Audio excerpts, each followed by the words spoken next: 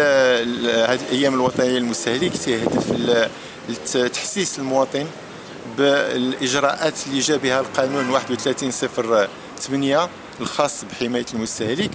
هاد الإجراءات اللي اللي جات باش تعزز آه، الحقوق ديال المستهلك وتحميها واللي كتعطي كتخلق واحد شيء من التوازن في العلاقات التعاقدية الاقتصادية بين المورد والمستهلك.